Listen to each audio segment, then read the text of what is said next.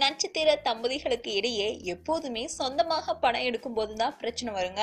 சமீபத்துல பிரசன்னாவுக்கும் ஸ்னேகாவுக்கும் பிரச்சனை என்ற ஒரு தகவல் கோலிவுட்ல பரபரப்பா பேசப்பட்டுச்சு. இந்த தகவலை மறுத்துள்ள பிரசன்னா நாங்க இருவரும் ஒரே துறையில இருக்கிறோம். ரெண்டு பேருமே நடிப்புல பிஸியா இருக்கிறோம். ஸ்னேகா எங்க மகன் விஹானையும் கவனிச்சுக்கிட்டு நடித்துட்டு வராங்க. இந்த தகவல் அனைத்துமே வந்து என கூறியிருக்காரு.